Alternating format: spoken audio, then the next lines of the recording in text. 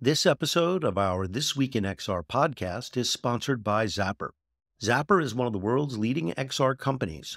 Over the past 12 years, they've won numerous awards for memorable campaigns. They've democratized AR by making tools and SDKs that anyone can use. And they created Zapbox, the world's most affordable mixed reality headset. Most recently, Zappar worked with Unilever to create an enhanced QR code called Accessible QR which enables packaged goods to speak to the blind and partially sighted. If you're thinking XR, give the team at Zappar a call or visit zappar.com to see how they can help you on your XR journey. Good morning, everybody. I'm Charlie Fink with Rony Abovitz and Ted Schilowitz for This Week in XR. It is Friday, February 23rd, 2024. Good morning, guys. Good morning, gentlemen. Nice to see you. Here we are, another Good Friday morning. morning it we're two weeks out from South by Southwest, and uh, I want to remind you guys, although we were just talking about it in the green room, that we are going to be doing a panel at South by Southwest on the 12th of March at 11:30 a.m. in the convention center. It's a featured panel. We're going to be talking about the future of XR in the age of the Vision Pro. There's so much going on at South by Southwest. I won't. We've got a great show today. I don't want to go too far off track, but there's so much going on at South by Southwest this year. Every year I start to do my schedule and it's holy crow. These that going to South by Southwest, you have FOMO even if you're there. Right. Yeah, because there's just so much to do. It's so big. And Rony, have you been ever in person to a South by Southwest? Will this be your first? The quick history for our listeners my band played at South by Southwest a few shows. Nice. The year that I started Magic Leap, like at least in my head, it was 2010. And we got invited back, and a lot of Magic Leapers went to South by, but this will be my first year back and doing the keynote with you guys and also doing one the day before with Richard Taylor from Weta on Story World. So it'll be super fun and exciting. Very cool. Good. Yeah, we love Austin. It'll be a lot of fun. Great city. Keep it weird. We've all been talking about AI all week. Uh, Rony just sent me a note about the Wall Street feeding frenzy set off by the incredible earnings story that we've had this week from a number of companies, and in particular NVIDIA, and it's just eaten the news cycle. And then while I was writing the column, I realized that we had just landed on the moon. I thought, holy crow, probably And that's not eating the entire news cycle. It's But like a no. ho hum, right? It's I NVIDIA's the uh, news. I have some personal connection points to that. And Rony, this is part of our, our uh, shared love of magic and lore. First of all, my friend Chantal, who's been a, a space person, I've actually done space conferences with her and talked to her. That was where I got to meet Jeff Bezos and Buzz, Buzz Aldrin in one gap together, which was stunning. That's Especially amazing. Considering last week, Buzz Aldrin punched a guy out, which was awesome. If you haven't seen it on Twitter or, or TikTok, just search Buzz Aldrin punches a dude in the face. And Wait, How old was he when he did that?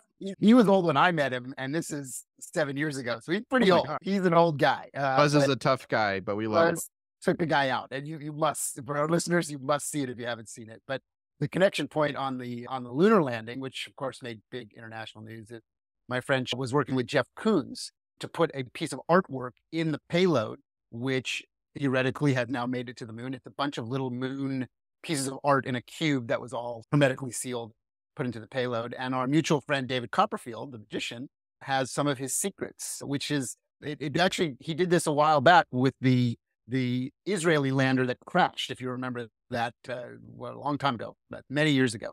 And now he's got another small payload of some of his secrets on this special nickel disc on the moon. And he's also in the process of vanishing the moon, which is pretty big news. Like you can just Google that and you'll see David Copperfield vanishes the moon. So he's very connected to the humanity of the moon and he's doing something special. So Rony, that's Can I ask a, a funny question? Does he vanish the move at the same time as a planned eclipse, or is it different? I'm friends with him, and I will not reveal anything Okay. that David does that is special, other than David is going to vanish the moon, uh, which is the moon is a fairly substantial piece of hardware to vanish compared to some of the other really substantial things he's vanished over the years. So keep an eye out for that. Just you guys, the listeners can Google it, and you'll see there's an NBC News story. It's a big news, so he's a big celebrity. Yeah, take a listen. So, skipping over Wall Street directly to another AI story, uh, Sora, the new open AI text to video generative AI that can do up to 60 seconds of very realistic and convincing video. So it, this came out. We talked about it the show last week. It came out, I, I think, the day of or the day before our show. And since then, it has eaten social media because eh, I have very follow a lot of media people as you do on socials, and uh, they're all freaking out. Uh, Tyler Perry just halted construction uh, on the expansion of his studio in Atlanta because he's freaking out about Sora. He doesn't know what it's going to mean for below the line film production. What the future of our industry looks like. Yeah, yeah, yeah, yeah. It's a bit so, like when IBM said maybe we should stop making these typewriters. Yeah, that's sort of yeah. yeah. Can I extrapolate? Sora represents what I think is happening in AI. I don't think it's going to be unique to Sora. I think people are now realizing like Midjourney and OpenAI and others were doing images, and then they were doing little videos, and Sora's just doing better videos. But if you just follow where things are going and why companies like NVIDIA are exploding, AI is going to eat up the entire economy in some way. And it's going to change all businesses in every sector. Maybe this was the wake up call. Some people needed to be gently nudged, others needed to be slapped in the face, and uh, others will get a punch in the gut. But if you're not on AI, if you don't understand what's happening, your business is in trouble. Guys, this is 1993. It's 1993. And the internet, all right? Again. All over again. And people are running around saying it's a fad. People are running around saying it's going to change everything. And, but the internet and mobile after it, mobile computing after it, did change everything. Yeah. But well, we look, were being boiled like a frog and it was happening. We were in the middle of it. So you can't feel the temperature going up. Can we make a bold temperature? We make a really bold thing for our listeners? Like crypto, weird fad didn't have an underpinning. AI, absolutely not.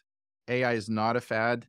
XR, it's hard, but also not a fad. But AI is not only not a fad, its waves are crashing harder and harder, not every year, every month. Yeah. Every week. Like the rate of change is accelerating. So if you're not awake to it, you need to get on top of well, things. Let, let me give you an example in the news headlines. Lambda AI raises $320 million. I've never heard of this company. $320 million. They're valued at over a billion dollars. And the guy putting in the money, Thomas Tull, is, is the real deal. Yeah, and an entertainment guy. Yeah, yeah, Thomas Tull, I think a little bit Thomas Tull. he was an investor. Thomas is a smart guy. Look, it sounds like a lot of money, 320 million, but the global economy today is over 105 trillion. I think investors are betting in tens of trillions of change. Yeah. So making hundreds of millions and billions of dollar bets are still like thousandths. Yeah. You know, one right. over a thousandth of tiny percent at the change bet. So I think you're going to see investments that start to go into the crazy numbers like 10, 20 billion dollar bets are still small against the giant change people anticipate. By the way, the winners and losers here will be profound. I think much more profound than the internet shift. Like just incalculably Ooh. profound. It's more polarized, right? You're going to get bigger winners and a lot more losers quicker. To your point about where the, the boiling the frog thing does not relate to this anymore. This is a very fast trajectory people are aware of. A lot of the stuff I've been tracking, which is interesting as they go to battle, is uh, I don't know if you guys seen a lot of the kind of comparisons to what Runway can do versus Sora. There's a lot of that floating around, and they're both actually pretty good. And Runway is making extraordinarily stride, extraordinary strides as well because they're all effectively using the same concept and code base to actually find a way to generate images from text prompts. So, Cristobal Valenzuela, the co-founder of Runway, uh, you know what he had to say about Sora? No, tell me. I'm curious. Bring it on. Yeah, battle, right? They're battling. I would be more cautious if I was that fellow because you're taking on a very big machine, which includes Microsoft. That uh, don't, don't like from experience, do your thing. Don't do head-on battles with the biggest lions. Just take but them to the, side. But to the reverse point, one of the things that was amazing about the internet is it was a democratization tool. People had the same resource tree. They may not have had the same capital or the same talent, but they have the same resource tree. And in my perspective, concept of what you're doing with a large language model or many subsets of large language model is a democratic factor. So small, medium, and large companies can effectively compete on seeing which one, like I'm, I'm using this term way more than I ever thought I would, which one will achieve escape velocity, going back to our moon reference, right? And our, our is it's not necessarily about the quality of the work you can do or the technical underpinnings is did you generate enough froth? Did you generate enough interest to achieve escape velocity and not get close and then fall crashing down to earth. And that to me is the mentality. It also brings up some of the stuff about Apple Vision Pro I'd love to talk to you about too. And Ted, you know what I think is going on here, Ted and Charlie? There's a lot of like new magic trick underneath the hood of technology, but I don't think those businesses are the ones that win. The ones that win have a more timeless approach. Like they're doing good design, they're going to understand customer needs really well. They're building good products. Yeah. Cuz the at, at some point like anyone could generate an image, anyone could stream a video right? What, what was the difference between like Zoom and Skype and others? It was like a good product, a good customer interface. Those things will come back into play. Right now, we're in the g whiz. Oh my God, look what my AI can do. But the underlying thing of it, like powered by NVIDIA and a lot of the same math that everyone is sharing and mm-hmm. cross pollinating, everyone can do. That's the weird, like in the large language model world, they're all doing the same thing, which is my point. Yes. it's going to be other things that actually make the difference in yeah, the and it's the picks and shovels thesis right? It's the guys that build the underpinnings of all this are the ones look what is nvidia today? Two trillion? Too large as we say? Based on the froth and the perception that everyone will be using this as much as they use the old version of the internet so it's a fascinating sort of people are lining up to compete with uh, NVIDIA. So they've got several years and they're very smart and they'll diversify and they're not going to stop developing, obviously, advanced technology. But there's going to be so much investment in those, in that underpinning, in that hardware, uh, that I think it, it, again, I don't think NVIDIA is going to make less money, but there's so much money to be made that so many others are going to come crashing in. We're talking about companies like Intel, which just made a deal to make custom chips with Microsoft. Can, I make a prediction though? I think Nvidia may be one of those companies to hit 10 trillion market cap. I, I don't think that's crazy given the unlimited potential of AI's change on the economy. And they are the front runner to be the back end for a lot of that change, not all of it, but they are so far ahead of others trying to emulate their ability to power LLMs. I wouldn't be surprised if NVIDIA hits it. I'm calling it here. I have no stock in them. I just know Jensen, really crazy smart. That guy's on a roll. I think he might hit 10 trillion. That's wow. Now you're talking about a company that is will be over three times at the height of Apple's valuation, over yes. three times the most valuable company on planet Earth. Uh, it's a shift. I think it's Who's going powering the future? Big? Nvidia's actually had an eye on the future to power the future, and and our friends at Google are moving to, a little bit too slow on that. Mm. And Apple is not necessarily driving that feature at the front end right now. Right. They're behind well, on AI. They're not leading on AI. They're like behind everybody. yeah, but right. remember that is always Apple's strategy: is never lead, always watch, and find a way to execute. Which is maybe that works here, maybe it doesn't. Not, we'll find when, out. When you're taking yeah. on Jensen, I don't know. It's a different creature. Yeah, it's pretty interesting. Yeah, yeah. There's a bunch of other, excuse me, fundraising news and a couple metaverse stories in the column. So if you're interested in those, if you're interested in anything other than AI, take a quick look among my favorite stories, which again, I won't go into, into mostly for my self preservation, is that Forbes has announced uh, a huge deal with Sandbox VR to build a presence in the metaverse. Little story is completely out of context today, and I don't know what they're thinking. I have no insight, despite my seventh anniversary as a Forbes columnist. I still have no insight into what actually goes on at Forbes. But that's a pretty interesting development because nobody, that story used to be like one of a dozen stories two years ago. And now it's like, where that comes wandered in from 2022. It does feel like a little old school attempts to meet new school moment, right? It so is. It's like, what? Sandbox? They still around? Yeah. Pretty interesting. We've got a terrific guest, Kathryn Conrad, a professor at the University of Kansas and she has been writing about AI in education. I thought this would be a terrific topic for us. And she's a super nice and interesting person, as are all college professors. Absolutely. If I don't say so myself. Looks like she's got her, her sunflower background up for us to chat with. She mentioned she may not be camera first today. Oh, there she, she is. Hi. Camera first. I'm camera first. and you're wearing a headset. Thank you. I am because I didn't think anybody needed to hear my dogs barking. You might want to just pull the mic a little bit away from your mouth. You're a little overmodulating. Right. Oh, perfect. That, is that all right? A little bit in. I'm just tweaking a little. Just sure. There you is go. Better. Perfect. Yeah, perfect. I'm not a usual mic. I'm, I got so- mine on. Uh, Charlie and I had figured out the whole system. We, we You and I have been corresponding. We have not met. Welcome to the show, and thank you for agreeing to Thanks speak with me. us this morning. I've got with me my colleagues, Ted Schilowitz and uh, Rony Abovitz, who is the founder of Magic Leap, the great see-through, in fact, one of the few see- true see-through XR technologies out there today. We mostly talk about XR, although lately we have focused on AI because it's eating the whole economy, and that's part of why we wanted to talk to you. Obviously, as an educator, I think a lot about AI and uh, how to educate students in this new context or with this new tool. How do we help them learn how to use it? They're going to become the natives, and uh, we're going to be looking from the outside in. But how how can we help them make that world one that respects humanity and gives us the rocket sled that other innovations like the internet and the mobile phone have given us? Yeah, that's a great question. I came from I come from a, a background where I did a lot of experimenting in the 90s with tech and education, and there have been a lot of edutech solutions that have come and gone. And I, my favorite is the I don't know if you all remember Moos. They were not MOOCs; those were the big classes, but Moos were mud object oriented spaces. They were based on D and D dungeons. So Mm. we we're we're talking about those and exploring what you could do with those. Spoiler alert, not very much. Back in the 90s with my fellow graduate students.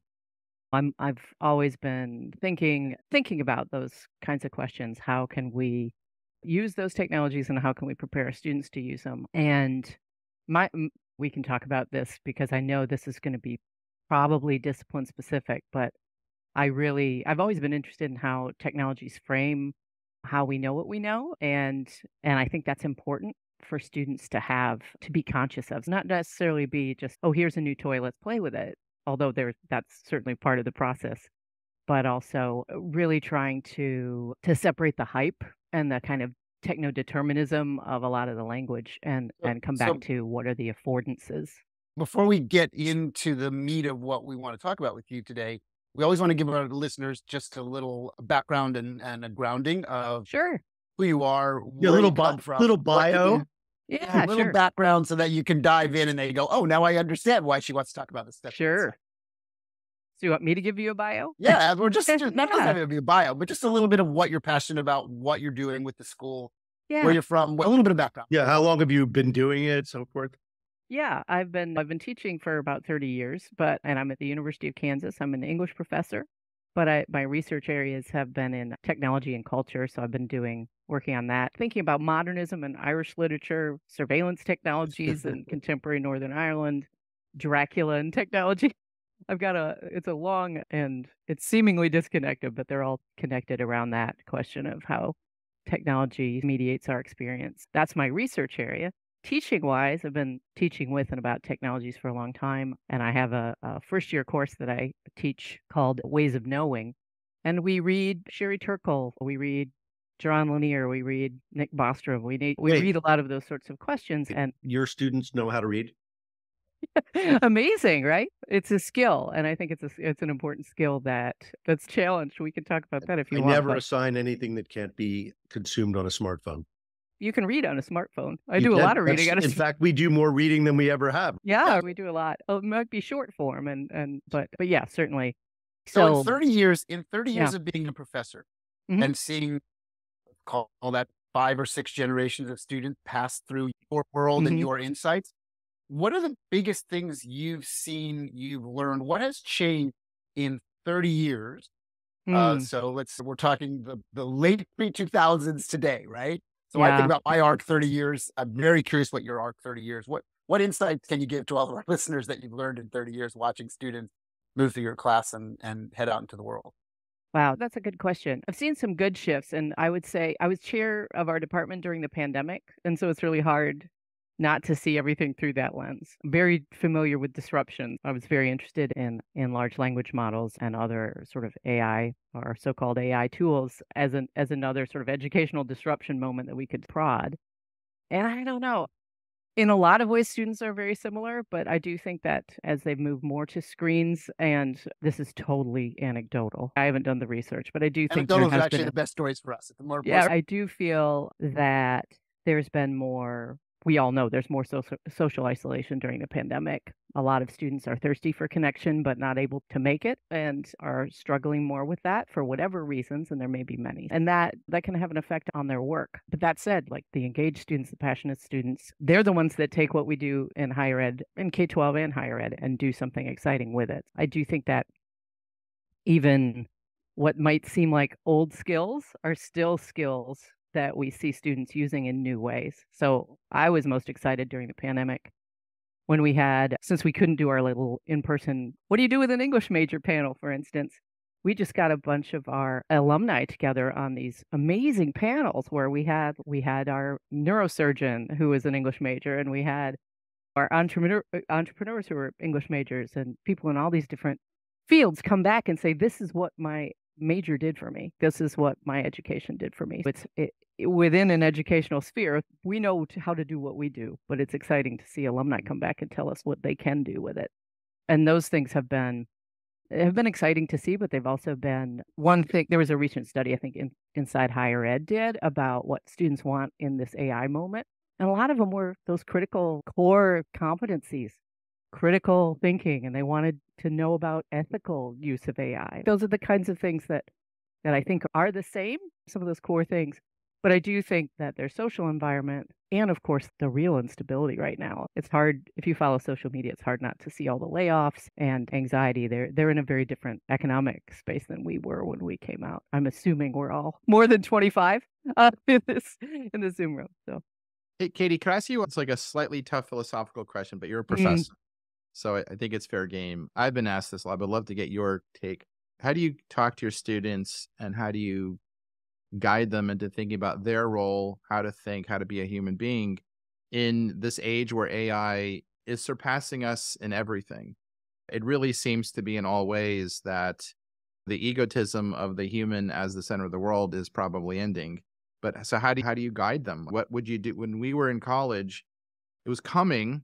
It was science fiction, but now it's here. We talked about it coming. Now, now we're here.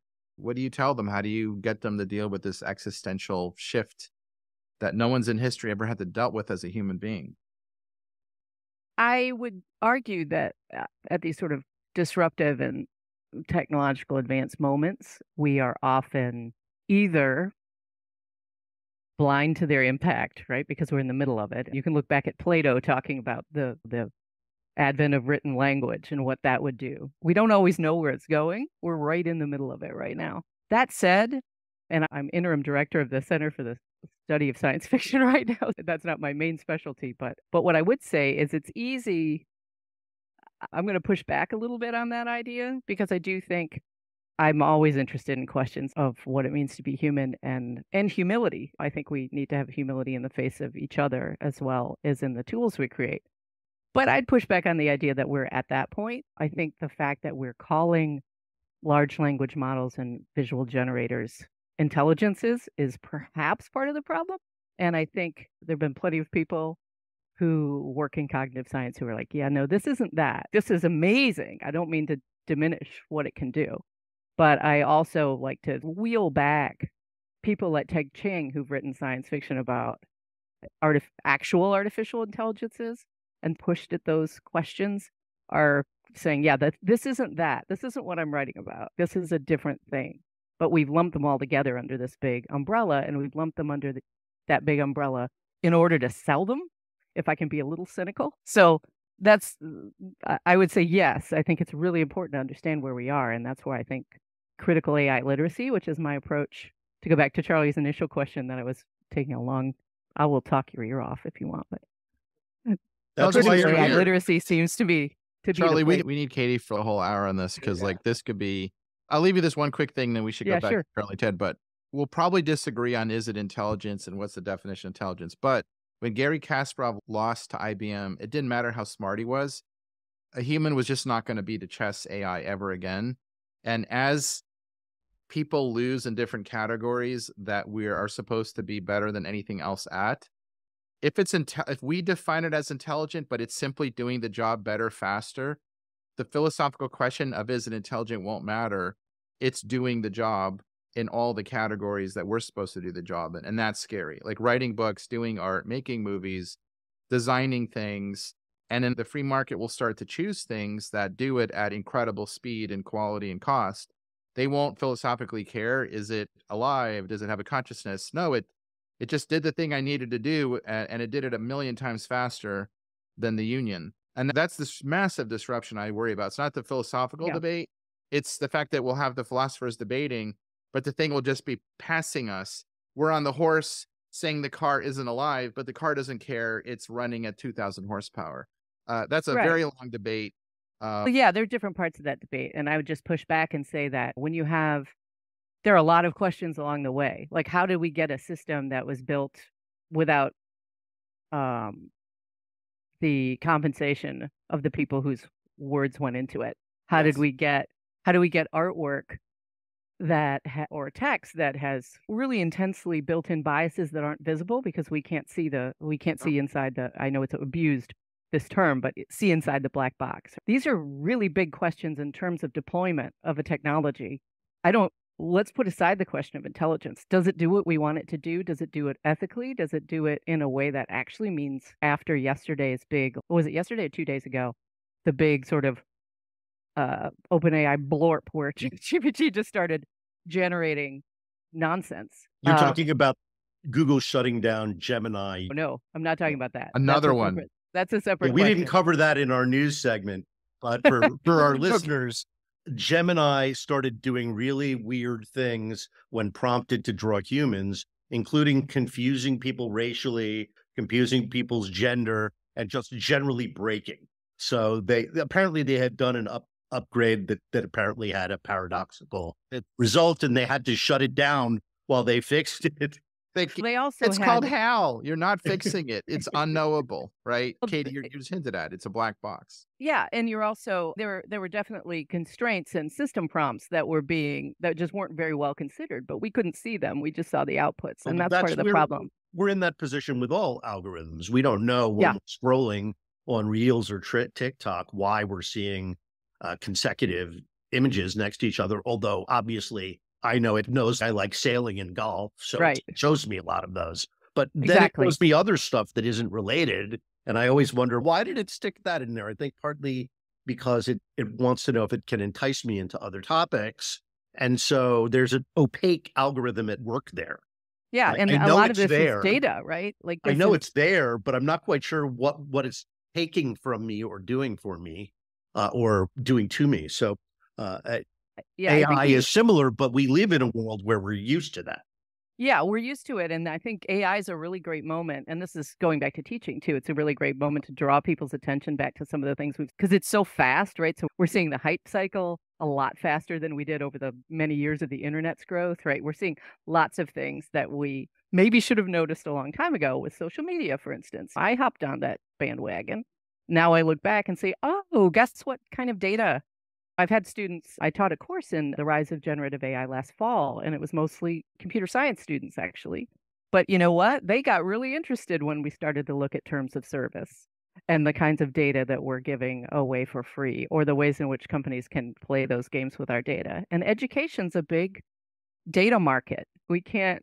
So I think that's when I say critical AI literacy, the importance of building that is like looking at those questions. And it's not just a question of whether or not this is really intelligence in the way that human, that's an interesting question. But I think there are all sorts of other questions that students who are entering a workforce eventually, not to mention their lives, right? Here's, They here's need to know where the failure modes are. They need to know what the ethical questions are. They need to know whether it works for and the affordances it have work for their what they're doing. It's a Mm. very different thing to see writing than it is to see computer code. And the problems in both cases are very different. Or advanced math, which it does very poorly now. But like why is it doing what it's doing? And I think it's important to rem- like keep this is a predictive it gives you plausible responses for a prompt, right? It, and it does that based on a very large data set. And so thinking about why it does what it does and how it does what it does and whether or not we can work with it or whether or not there are places where it doesn't make sense. Those are all questions I think our students, if we have those conversations with our students that are not abstract, but very practical, that helps them go to their employer and say, you know what, maybe you shouldn't send that. Maybe you shouldn't be sending a message to people that is an emotional message. This would invite ChatGPT when they actually think a real person wrote it. Or maybe we should really have somebody who's an expert check these outputs before we put them in a textbook, which has already happened. They're So, already go ahead, Charlie, ask your question, then I'll follow up on that. As an adjunct who teaches almost full time Mhm. and has been doing so for five years, I have a perspective on the current state of education Mm. and current state of our college students and the world in which they are uh, launching into their lives. So, this is a very broken system that is almost impossible to reform from the inside. So, we just keep on doing what we've done for 400 years.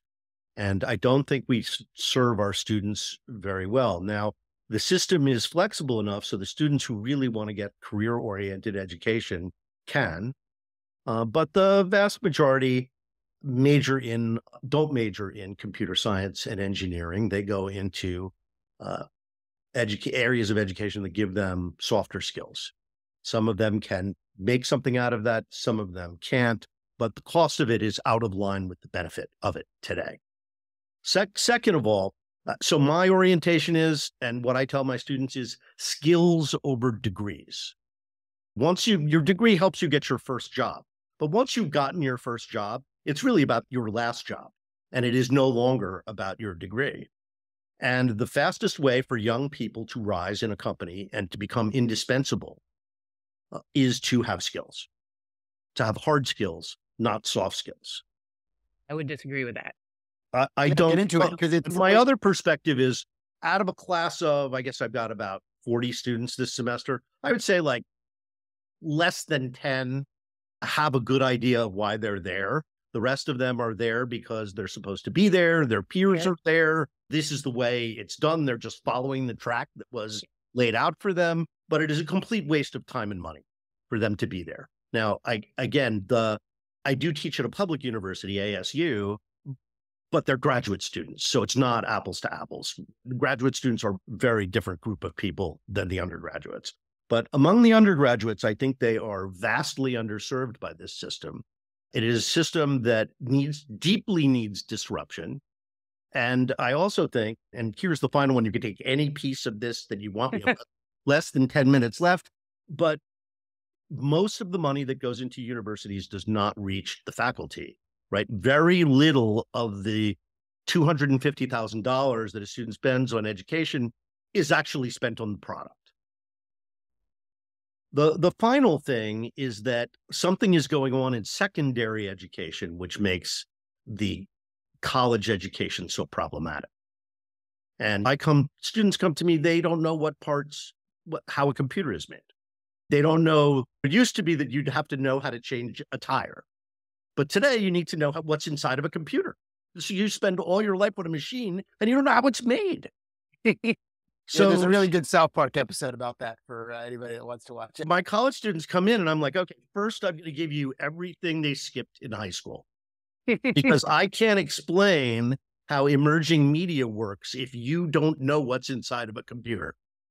Right? If you don't know what's inside of a computer, half of the things I say to you in the next 16 weeks are not going to make any sense. Hmm. This That's is an overall sort of critique of education and in particular its cost. And I really think the approach has to change. And by the way, the I did not think teaching during the pandemic was bad. And of course, the thing is, of course, the excellent students made the most of it, and the other students muddled through it the best way that they could, which always happens, right? That happens in the physical world. The best students get the most out of it. And they're, of course, the most satisfying students to teach because you get instant gratification. With other students, maybe the gratification comes a decade later where you see this as a person who has great critical thinking skills and doesn't take facts for their face value and and I know those are the skills that you're talking about that are so valuable, right? Those it, it's a education spent on reading and discussion develops maturity and is never wasted, right? It goes into your head and it can never be taken away from you. So those are the great things about education. But I also delivered those remotely where the economy of the education and its outcome would be improved over today, right? Today, they're paying for Fraternity Row and the massive dining hall and the exercise center. The, so the athletic center, that's what they're paying for. So it seems to me that the incentives are off, the way that we deliver the content of our courses is off. The skills that we want to develop, I'm not sure we're developing. And that's a big leap. There isn't that much proof. The people that we educated that way are highly dissatisfied 10 years later. Uh, and again, partly not the fault of the university, but partly it is. So, so that's a lot to unpack. Yeah, it's a right? lot to unpack. But as I you have can a see, lot I have a lot to say that. about this. I have a lot to say about this topic. Clearly, Clearly, you not do. have anybody else to say it to. That's soon. why you're Unpack. here. But Katie, if you do a little boil down of all that, Yeah, yeah. it's, it's the debate between trade school versus matriculation, right? It's the debate between skill based school versus liberal arts university based education. So that's probably where you want to start with uh, with your Yeah, I think I, I personally think and is what I was saying about AI mm. drawing mm, AI. If we go back to that initial topic, that like bringing into focus some things that we and making us, I hope, pay attention to some of those things you're talking about.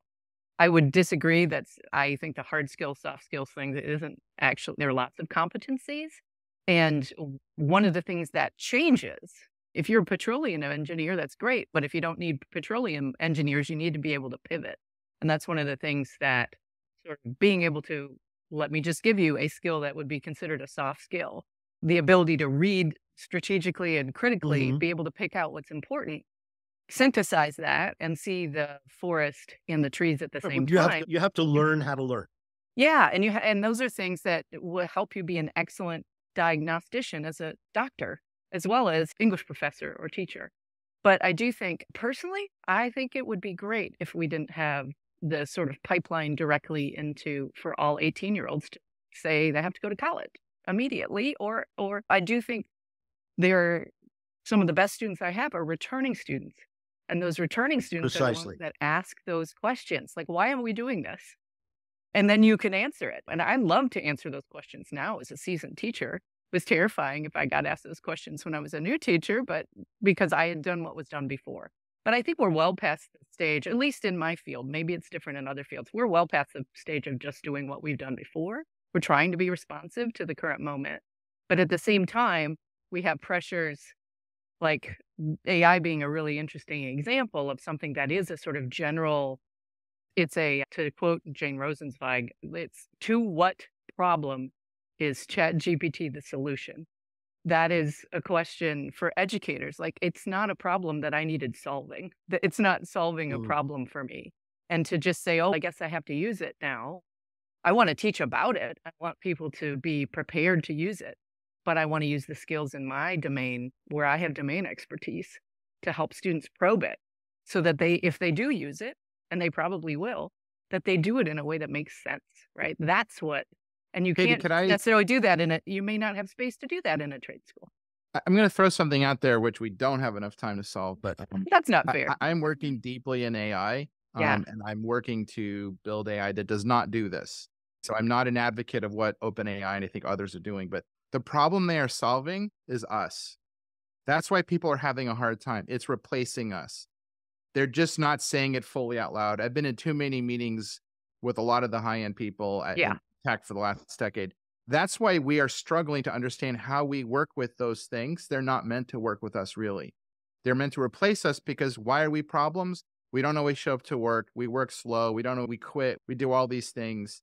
The problem is us. This is what the big HAL, like HAL 2001 companies are solving is that. And I think that's the cognitive dissonance that we're not quite seeing. But is Now- that the new Rony? Is that a new problem? Because you could go back to Monsanto and DuPont trying to solve the the farming equation of the manual labor and effort that went into farming and how to feed the world, and we can debate on both sides of the equation, both good and bad. There, right? The question is: This fundamentally different than anything else on the pathway of humanity that has moved us into And the for- age where we sit today? And for no, whom is it solving it? It is not solving that problem for the people who do that a work. tiny group. And Uh, It's solving Yeah, it for right. a tiny group. What what it's really doing, we can go on a very long tirade about this, but it is I call it centralized computing autocracy. It is moving the resource of the world into the hands of a very small group Yeah.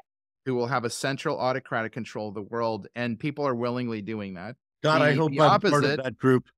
The opposite is happened. uh, I- you're not. I feel happened. sorry for Charlie. the people who aren't in that group. I hope it includes me.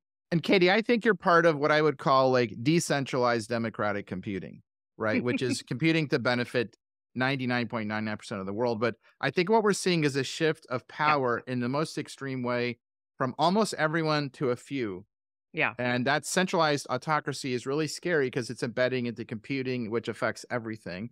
Or there's an alternate path, which is like a decentralized, more democratic computing structure. By the way, none of the companies receiving big funding right now are on the path of decentralized democratic computing. They Yeah. are all forms of centralized autocracy, which is Yeah. terrifying. And I and think there's regulatory capture here. That's that again. When I say critical AI literacy, that's what I'm talking about too. It's part of these larger conversations about how we create the world we want, and that's what I said to my students. Right, this is your world. I'm getting old. Yeah, I'm not that old, but I'm getting old. Like this is the world you inherit. You need to have a. Good in it. God, I hope they replace our the- us boomers soon enough. We're not I'm not a retiring. boomer. I- we're I'm not retiring. It makes the generation behind us very impatient. Uh, so listen, that's all the X time we have. baby, X baby, Jen, Jenna. Anyway, We uh, this is all the time we have, which is sucky because ro- once we're really getting going with our guests, we have to stop. Uh, but it was a pleasure having you here. I'm sorry we really didn't get topic of how can AI solve these problems in both higher education and solve the problems not just for higher education but for our students and make sure that we're we're graduating AI literate people who are going to be in that first group. That's what we owe them. How, how do you get in the group that determines what AI does and are not the recipient uh, of what it does? Rony's shaking his head. We're going to go. It's like I what he's going to say. to be My cat answer, my literate. I think- I know what Rony's going to say. It's not going to be so easy to get into that group. It's not going to be that. No. Uh, so anyway, thank you everybody for listening. We'll be back next Friday. Kathryn, I hope we see you again. And I uh, would love to be back. good good luck with the uh, third act of your career at UK. I love my colleagues at uh, Chapman and ASU. We are all in the same boat trying to do the same thing, which is to give our students the skills they need to survive in this crazy, disrupted world. And give teachers the space to do that work too. So Yes. the more we can develop that literacy amongst Yes. our colleagues, the better. 100%. Have a great weekend, everybody. Bye-bye, Take care. everybody.